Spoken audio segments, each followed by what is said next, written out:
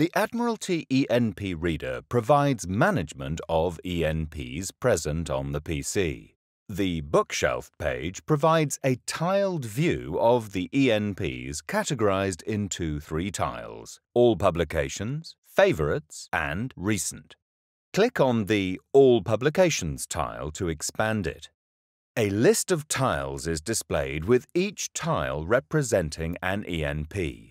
At the top of the list of tiles are the ENPs which have a valid permit, followed by ENPs which exist in the product catalogue and have not yet been purchased. Tiles with a permit are differentiated by a darker navy blue background colour. They also have a favourite star and an expander triangle. Additionally, they can be clicked on when the mouse is moved over the tile, and the tile colour will change to light blue indicating that the tile is clickable. Click on an ENP tile you have purchased where the ENP number and title are displayed. This will open the ENP and the View Book page will be displayed.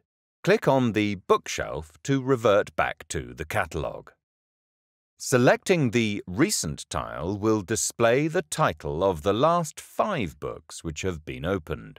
Clicking on the book title on the Recent tile will navigate back to the book opened in the View Book page. Clicking on the same ENP tile in the All Publications tile will also navigate back to the already open ENP in the View Book page.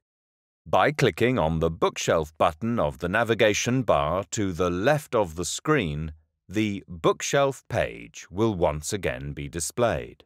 By clicking on the Expander arrow, the tile will animate and drop down to display additional information. This will typically show the ENP edition year, permit expiry date, and the data status of the ENP itself. By moving the mouse over the edition year, this will change to a light blue highlight, which indicates that it can be selected. In the event that a new edition of an ENP has been downloaded, more than one edition of an ENP is present on the PC and displayed under the book title. Clicking on the Edition Year enables each edition to be opened.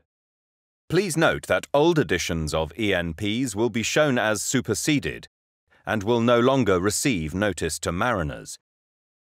And to avoid confusion, it is recommended that old editions of publications are removed once the new one has been installed. Purchased ENPs are coloured navy blue when no action is required. Within 30 days of the permit expiry date, the tile will change to an amber colour and then red when the permit has expired.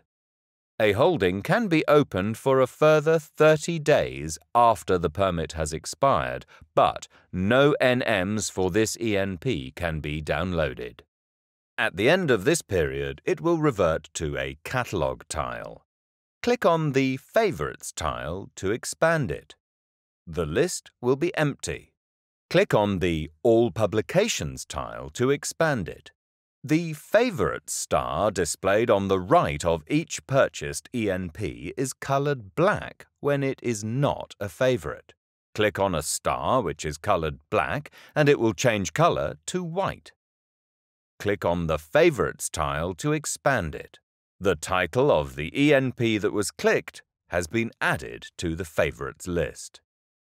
By selecting the Favorites tile, you can open a book listed in your favorites by clicking an ENP title.